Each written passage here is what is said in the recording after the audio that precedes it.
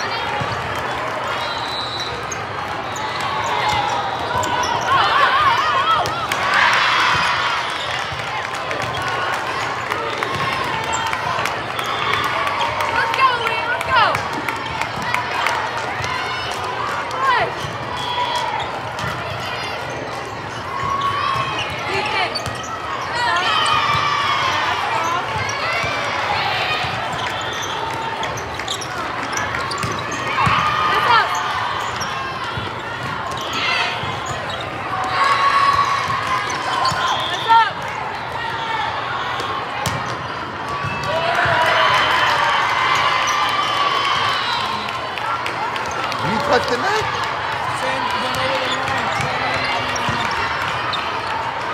I thought you touched the neck on the other side.